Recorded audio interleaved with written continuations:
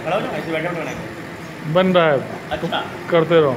चलिए नमस्कार मेरा नाम सौरभ श्रीवास्तव है। मैं आपको एल्कलाइन और एसिडिक क्या चीज़ होती है पहले ये भी बताऊँगा। और हमारे आसपास का जो माहौल है वो किस तरीके का हो चुका है। और ये भी आप जब लाइव डेमो आप देखेंगे तो उससे आपको अंदाज़ा भी लगेगा। तो एक बॉटल में ये हमारा एल्कलाइन आयोनाइज्ड वाटर है। इसका थोड़ी मात्रा में इसमें आपके सामने इस ग्लास में डाल रहा हूँ। ये हमारा मार्केट में अवेलेबल एक ब्रांड बेस ब्रांड से कोई दुश्मनी नहीं है। कुछ भी अगर आप लेंगे, इस तरीके का बोतल बंद पानी, सब यही काम करेंगे, जो आपको इसमें दिखेगा। और ये भी मिलने वाला एक ब्रांड है, इस तरीके की कोई भी, ये हमारा एल्कोहल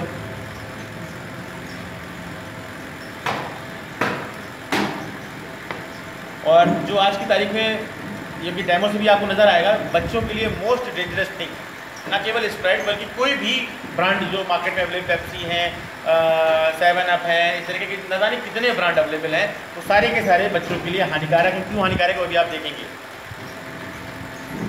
तो मैं इसकी थोड़ा सा पार्ट इस जार में डाल रहा हूँ।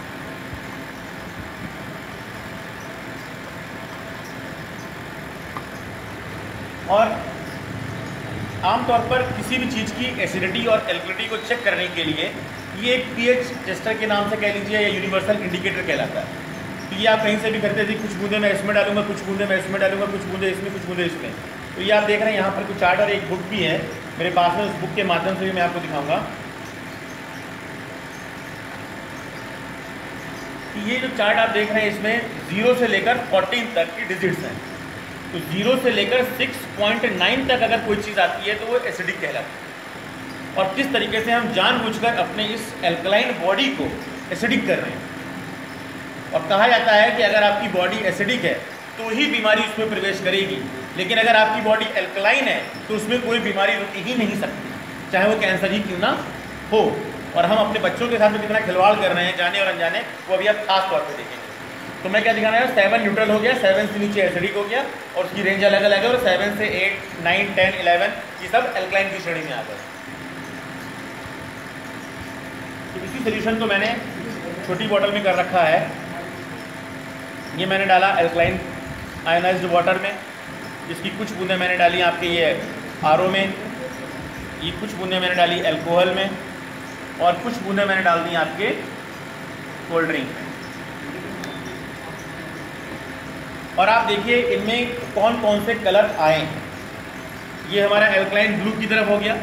10 पीएच के आसपास का है 9 पीएच के आसपास का है। वहीं पर अगर हम देख रहे हैं ये हमारा आरओ वाटर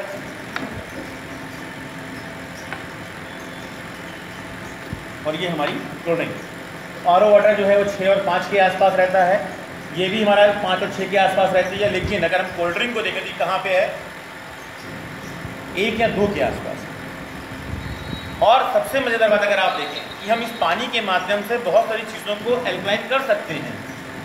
लेकिन जहाँ जो जो लोग कोल्ड ड्रिंक पी रहे हैं खाने के शौकीन है, पीने के शौकीन है, बच्चों को पिला रहे हैं, उनका क्या हाल होगा, वो अभी आप देखेंगे। कि मैंने इसी एल्कलाइन पानी को अगर आरओ में डाला तो क्या हो गया? ये भी एल्कलाइन में कन्वर्ट हो गया। जो ये हमारा एल्कोहल है, ये भी एसिड फॉर्म में होता है।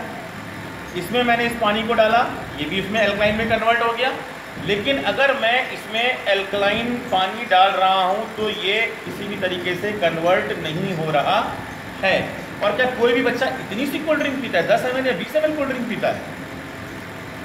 वो 200 सौ एम एल तीन सौ एम एल चार सौ एम एल पाँच सौ एम एल कोल्ड ड्रिंक पीते हैं। तो ऐसी पाँच लीटर भी अगर पी जाएँगे तो उनकी बॉडी पे एल्कलिटी मेंटेन नहीं हो सकती। किसी भी कंडीशन में। तो आप सोचिए, उन बच्चों को बीमार होना है कि नहीं होना है? और जिस दिन से मैंने ये डेमो देखा और मेरे आसपास के लोग जो भी इस चीज़ को देख रहे हैं, यहाँ पर जो लोग बैठे हैं और इन फ्यूचर भी जो लोग देखेंगे, मेरी उनसे हाथ जोड़ के रिक्वेस्ट है, कम से कम कोल्ड ड्रिंक का अपने हाथों से अपने बच्चों को कोल्ड ड्रिंक रूपी जहर ना पिलाएँ। इतना ही मैं कहना चाहूँगा। धन्यवाद।